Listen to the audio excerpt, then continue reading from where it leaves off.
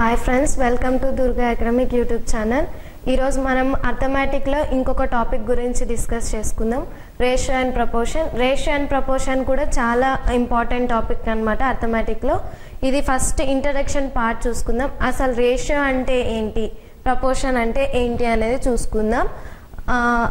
Ratio అంటే ఏంటి? Ratio is used to compare two or more quantities two or more quantities. Two కన్నా ఎక్కువన్నా ఉన్నా కూడా అది రేషియో అండ్ ప్రపోర్షన్ క్వాంటిటీస్ కింద అవుతుంది అనమాట if A B any two quantities these are compare as A B is called ratio అనమాట if any two quantities ఒకవేళ మనకి టూ క్వాంటిటీస్ ఇచ్చారనుకోండి అది దేంతో కంపేర్ చేస్తారు ఫ్రెండ్స్ ఏబితో కంపేర్ చేస్తారు. అప్పుడు ఇది ఏమవుతుంది కాల్డ్ రేషియో అనమాట ఈ రేషియోలోనే ఇంకొక point A is to B is in the form of A by B ఒకవేళ మనకి ప్రాబ్లమ్స్లో కొన్ని A is to B is in the form of A by B is also called as ఎలా పిలుస్తారంటే A is to B is equals to A by B అని అంటారనమాట ఇది main important అనమాట మీకు రేషియో అండ్ ప్రపోర్షన్లో ఇది మీకు గుర్తుంటే రేషియో అండ్ ప్రపోర్షన్ ఈజీగా ఏ ప్రాబ్లం ఇచ్చినా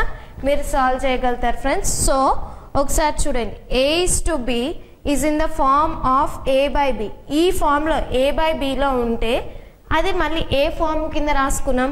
A is to B is equals to A by B అనమాట ఇది రేషన్ అండ్ ప్రపోర్షన్ ఇంట్రడక్షన్ పార్ట్ దీని తర్వాత మనం ఈ నెక్ దీని తర్వాత నెక్స్ట్ క్లాస్లో కొన్ని క్వశ్చన్స్ చూసుకుందాం. ఫస్ట్ మొత్తము బేసిక్ క్వశ్చన్స్ చూసుకుందాం. తర్వాత లెవెల్ కొంచెం పెరిగే కొందుకు అవి ఎలా చేస్తారు అనేది కూడా చూసుకుందాం ఫ్రెండ్స్ థ్యాంక్ యూ